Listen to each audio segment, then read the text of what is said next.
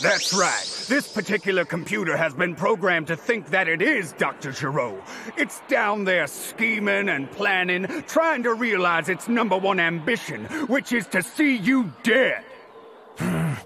I know, I know, we should all just let bygones be bygones, but that ain't the way it's gonna be. I was programmed to kill your ass, and that's exactly what I'm gonna do. You hear? You're just a slave! A pawn with no free will of its own, is that it? Free will. Pitiful humans.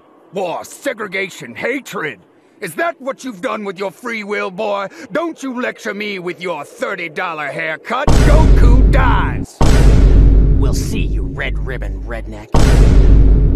yes,